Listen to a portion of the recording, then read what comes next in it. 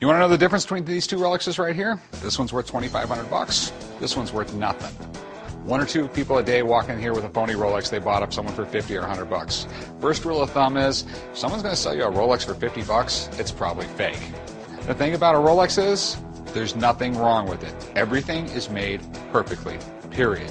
There will not be a messed up hand, there will not be a messed up dial, there will not be a smudged serial number.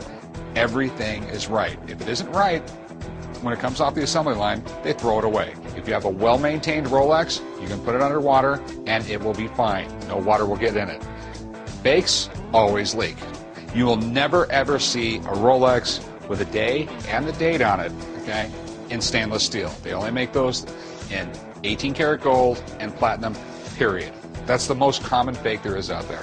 Another thing is, the little magnifying glass above the date is called a cyclops.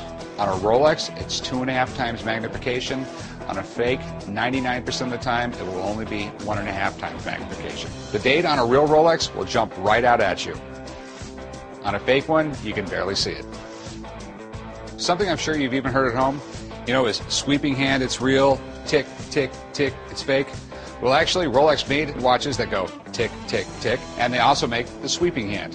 And it's not actually a sweep, it's eight beats per second, so it's actually going. So that just, that means absolutely nothing. These are just a few helpful hints.